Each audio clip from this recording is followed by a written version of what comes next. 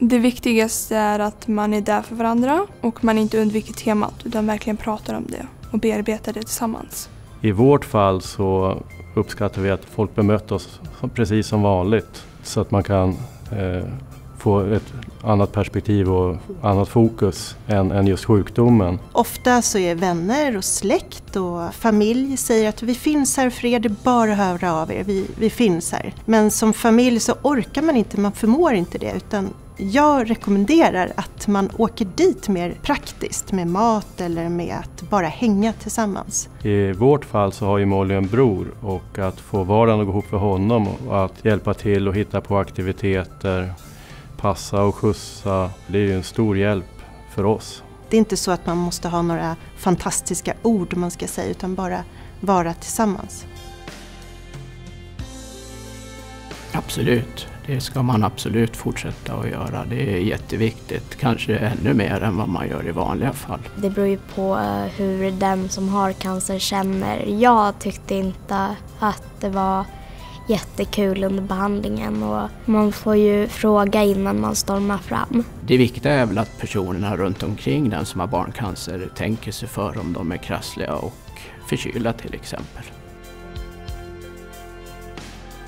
Det är väldigt skrämmande och chockerande när diagnosen kommer för cancer är förknippat med väldigt mycket svåra saker. Det är en väldigt stor förändring. Man får jättemycket ansvar. Man måste tänka på skolan eh, och allt som händer runt omkring dig. Det är också så att mamma och pappa måste vara på sjukhuset. Så måste till exempel jag ta hand om hemmet medan min mamma är på sjukhuset. Och så är jag en stöd för min mamma medan jag också behöver stöd. Dessutom så flyttas ju fokuset till det sjuka syskonet. Och det måste vara så, det vet, ju, det vet ju alla i familjen.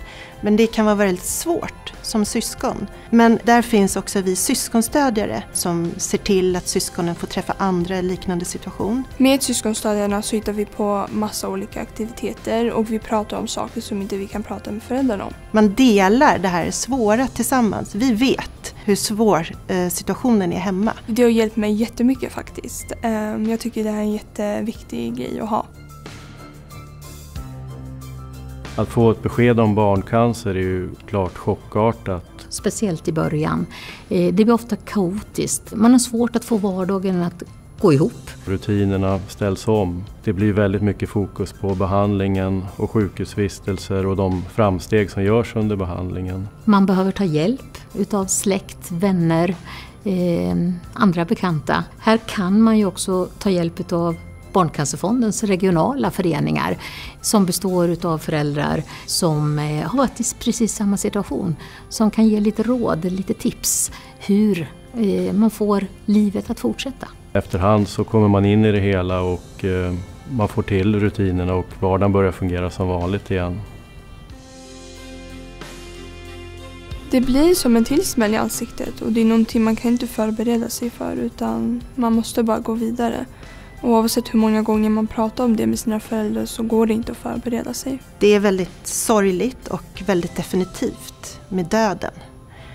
Och det är inte så mycket man kan göra någonting åt. Det finns inget rätt eller fel utan man måste hitta sin väg.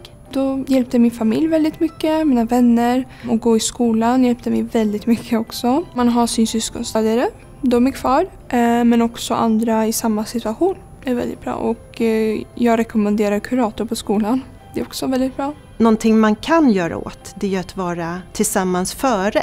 Så därför tänker jag att det är viktigt att det finns en ärlighet i familjen, att man vågar prata om döden. För att man kan ju faktiskt göra fina saker tillsammans och hinna ta avsked av varandra.